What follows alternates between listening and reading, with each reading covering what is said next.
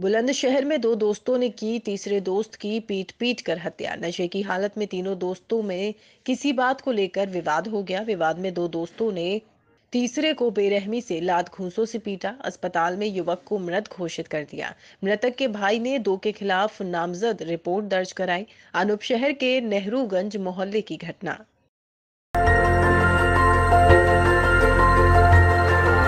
देखते रहिए डीबी भारती समाचार। नज़र हर खबर पर।